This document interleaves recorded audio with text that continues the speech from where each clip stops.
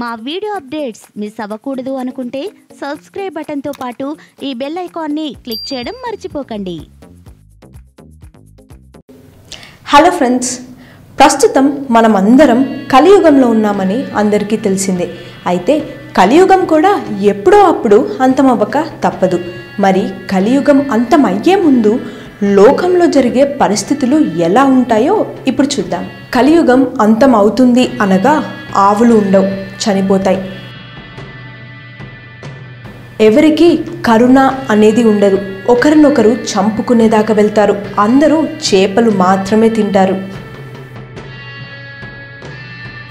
మహిళలు క్రూరంగా ప్రవర్తిస్తారు. ఎక్కడ చూసినా వ్యభిచారం హత్యలు జరుగుతాయి.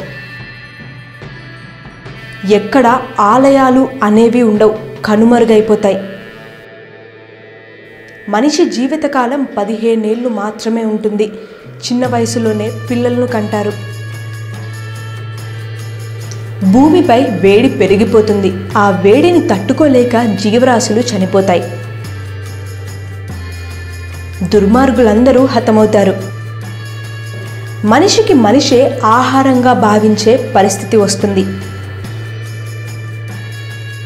ప్రళయం వచ్చి భూమి మీద ఎటు చూసినా నీరే కనిపిస్తుంది. తిరిగి సత్యయుగం ప్రారంభమవుతుంది. సో ఫ్రెండ్స్ ఇలాంటి మరిన్ని ఆసక్తికరమైన విషయాలను తెలుసుకోవాలి అనుకుంటే మా ఛానల్ను సబ్స్క్రైబ్ చేసి ఈ వీడియోను లైక్ చేసి షేర్ చేయడం మర్చిపోకండి.